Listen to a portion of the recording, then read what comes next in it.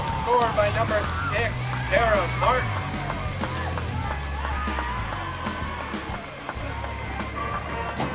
Every conference game is they're I mean they're usually all close, they're tight, and uh, it was nice to get three points today because we have two games coming up on the road, and every point matters. So it was really good to kind of get this momentum back.